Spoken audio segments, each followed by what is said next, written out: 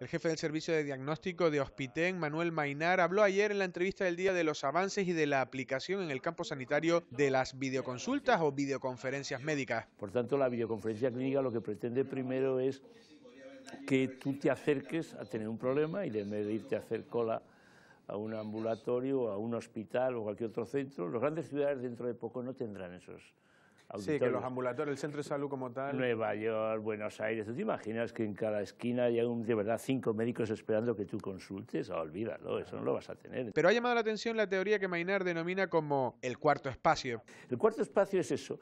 Para esta, esta gente que en este momento tiene menos de 18, van a ir en bloque al cuarto espacio, que significa que van a llegar por encima de los 100.